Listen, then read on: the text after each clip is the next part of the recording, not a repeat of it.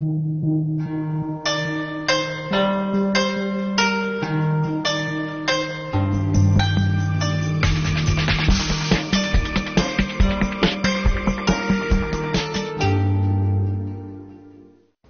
好，观众朋友，欢迎收看《国宝档案》。清朝康熙年间，历任吏部尚书、户部尚书、刑部尚书和工部尚书的陈廷敬，深得康熙皇帝的敬重。他一生中二十八次升迁，驰骋政坛五十三年，可以说是一人之下，万人之上。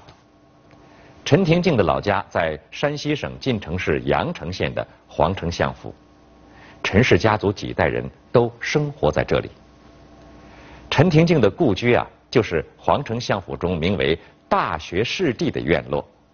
来参观的游客呢，都会发现，大学士地竟然修建的跟北京的紫禁城十分相似。在清朝啊，把自己的宅院修得像皇宫，可是忤逆的大罪。一生严谨的陈廷敬，怎么会做出这样的事呢？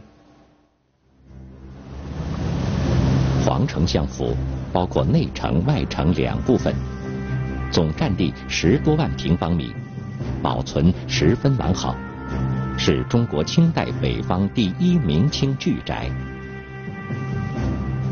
内城建成于明末时期，具有典型的山西建筑特色。外城完工时间是康熙三十八年，也就是公元一六九九年。整体造型很像是一个缩小版的紫禁城。为什么说陈廷敬的故居像是紫禁城呢？原来在古代北京的建城史上，城市规划都是按照皇宫为中心、左右对称的特点来建造的，有很多建筑都建筑在对称轴上，又称为中轴线。而紫禁城位于北京的正中间位置。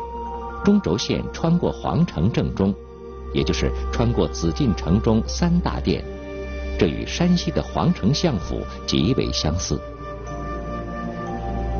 皇城相府分为内城和外城两部分，陈廷敬的故居位于外城位置，与紫禁城同样近似长方形。紫禁城三大殿之一居中的中和殿是皇帝每年祭祀的地方。皇城相府建筑同样以陈氏祠堂为中心。作为官宅，皇城相府和紫禁城一样，院落坐北朝南，布局为前殿后院。紫禁城外北京城被城墙环绕，皇城相府也是内外两道城墙，同样高十二米，所以老百姓们把皇城相府看成微缩的紫禁城，也是情理之中的。陈廷敬在山西盖了个和紫禁城差不多的宅院，起因源于他的母亲张氏夫人。在老家一直等不到儿子回来，茶不思饭不想，而又不敢让儿子向皇帝请假，所以张氏夫人下定决心自己打点行装去北京看儿子。陈廷敬得知了母亲要来北京的消息，一下子着了急。想方设法要把母亲留在山西，这又是为什么呢？陈廷敬的母亲在陈廷敬做了晋朝的大官以后，他母亲就想到北京去看一看儿子，想去转一转，去京城里边看看京城是什么样子。陈廷敬知道这个事以后啊，他自己想。他说：“我母亲年纪已经大了，来北京的时候在路上要走，差不多两个多月。这个风寒火冷呀，有时候害怕老人承受不了。他就跟他母亲说：‘啊，我跟你修个大宅院，要跟我在北京工作这个地方差不多，啊，你就在就可以看一看，也一样。’”听了陈廷敬的劝说，张氏夫人这才打消了去北京的念头。接下来的日子，张氏夫人就是看着这些从京城来的工匠们，能给盖出一个什么样的房子。没过多久，按照陈廷敬的意思，一个复制他在北京的住所以及办公地点的院落就开始动工了，也就是今天皇城相府的大学士地。高大的院墙、厅堂的布局，确实是和北京的紫禁城有着几分相似。张氏夫人每天都会在院落里逛一逛，还将儿子陈廷敬的书画作品呢摆放进厅堂里。在中院东房啊，正中墙上悬挂着一轴陈廷敬最著名的书法作品。您能想到吗？他竟然是陈廷敬写给弟弟的一封劝退信。这幅名为《池上篇》的书法作品写道：“十亩之宅，五亩之园，有水一池，有竹千竿。”勿谓土狭，勿谓地偏，足以容膝，足以息肩。悠哉悠哉，终老其间。看到这里，您能猜得出陈廷敬为什么会用几句歌谣式的文字来给家人回信吗？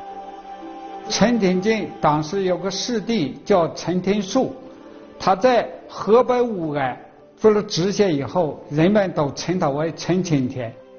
陈廷树做官完了以后，五年任期到了以后，他就想让在京城的大哥陈廷敬给他在京城蒙个一官半职。收到四弟陈廷素的信以后，陈廷敬十分苦恼，把四弟引荐到北京谋求个职位，对陈廷敬来说不是难事。可是，这种走后门的方法，要是被皇帝知道了，不仅是陈廷敬自己的官职难保，家人恐怕也都会受到牵连。陈廷敬左思右想，最后便写了这封委婉的家书。《池上篇》的原作者是唐代大诗人白居易，陈廷敬稍加修改，就寄给了弟弟。信的大意是这样。在我们的老家有十亩地的住宅，五亩地的花园，还有一泉水在院子中间。弟弟，你不要嫌弃我们的家乡偏远，这么大的宅院足够我们生活了。出门在外，不管多少年，最终还是要回到老家颐养天年，在家中读书写字，饮酒弹唱。我认为这才是真正逍遥的日子呀。陈廷敬在这封家书中，通篇都没有明确拒绝弟弟的请求，但每一句话都说出了他希望弟弟回乡赡养父母的心声。最后，陈廷素也听了哥哥的话，辞官回乡。陈廷敬虽然不能亲自侍奉父母。但是弟弟能替他尽一份孝心，陈廷敬心里也多少得到了一些安慰。大学士第建成以后，由于村里的老百姓谁都没去过紫禁城，看见陈家气派的大宅子，也就认为紫禁城就是这样子的。到后来，竟然演变成了陈廷敬在家里盖皇城，最后。陈廷敬要谋反的消息，竟然从山西一路传到了京城，传到了康熙皇帝的耳朵里。陈廷敬的这份孝心，就要给他引来杀身之祸了。消息刚刚传到皇帝耳朵里的时候，康熙皇帝完全不相信。陈廷敬可是他最敬重的老臣，为朝廷服务几十年。不可能会出这种忤逆的事情。可是消息传得越来越广，知道的人也越来越多，康熙皇帝心里也开始有些怀疑：陈廷敬修建小紫禁城的事情都传得有眉有眼儿？难道是真的吗？康熙皇帝决定借着西巡的机会去山西一探究竟。而陈廷敬得知了皇帝怀疑在老家盖皇城，还要准备亲访家宅的消息，陈廷敬也有些惶恐。陈廷敬怕解释不清楚盖房的意图，也担心一些谗言会最终让康熙皇帝迁怒于自己，这可怎么办？陈廷敬在北京心急如焚，自己多年的名节恐怕就要毁于一旦。可身在千里之外，又怎么能化解这场危机呢？情急之下，陈廷敬想出了一个办法，那就是用黄泥涂城墙。传言说，陈廷敬盖皇城，那不如就把传言中的黄变成黄，而且在短时间内也没有其他更周全的办法了。陈廷敬就连夜给老家写了一封信，让家中所有壮丁连夜把外城的所有城墙用黄泥巴喷洒一遍，务必将整个城墙涂成黄色。康熙皇帝在西巡的时候，就下来到了阳城，然后到了这儿了以后，他就换了个乘了个小毛驴，他就坐上石舫。到这儿的时候，这个皇城了，这个地方了，他这个陈廷敬修这个宅院了还没有完工，他就转着这个城墙周围转了一转。康熙看了看，这个宅也不是太大，他无非就是修了个小城墙。比起我北京那个故宫来，那简直是天上搁地下了。这怎么能说老臣是有谋反之心啊？事情平息以后，康熙皇帝严惩了几个捏造传言的官员，也找到了陈廷敬，问他：民间对你议论纷纷，说你盖皇城，朕还是想听听你的解释。陈廷敬听了以后，扑通一声跪下，说道：“臣的老母亲在山西老家生活，已经多年没有见过臣了。他本想进京见我一面，可我担心老母亲经受不住舟车劳顿，就依着京城建筑的样子盖了个大院子给他。此事是个误会。”臣从来没有过忤逆之心呐。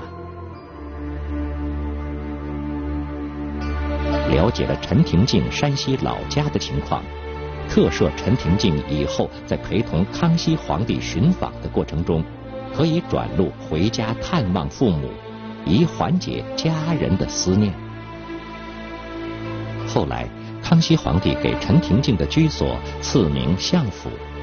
山西当地的百姓们又结合陈廷敬黄土涂城墙的故事，就把整个陈氏大宅都叫做皇城相府了。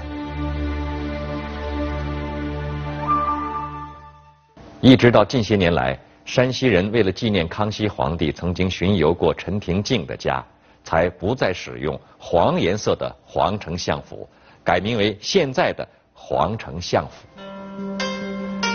要想了解更多内容，请您关注国宝档案官方微博、微信。感谢收看本期的节目，让我们下期同一时间再见。